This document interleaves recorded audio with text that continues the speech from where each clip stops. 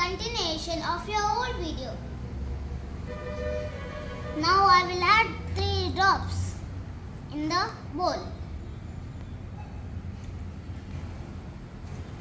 One, two, three. If you want, you can add more.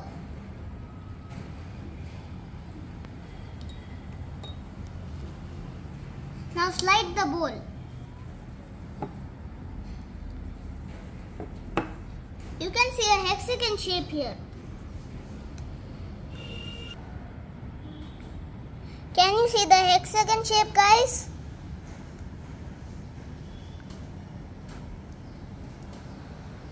If you can say see it,